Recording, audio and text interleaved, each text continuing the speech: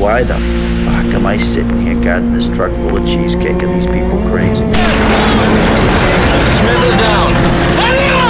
Today was the first time I shook a man's hand that wasn't attached to his arm, like a child's safety clip mittens dangling from their winter coat. If the problem is not going away, then kick it up a notch. And I don't give a fuck if that means nuking this fucking.